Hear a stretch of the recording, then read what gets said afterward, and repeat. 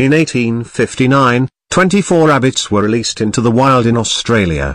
Within six years their number had grown to 6 million.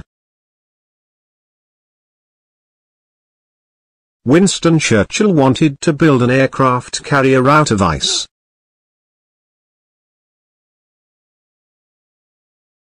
Unknown bombing raid. A B-24 Liberator breaks up from anti-aircraft fire somewhere. Over Europe. Unknown place, unknown date. Post-mortem. Deceased child with flowers, 19th century. KKK poster.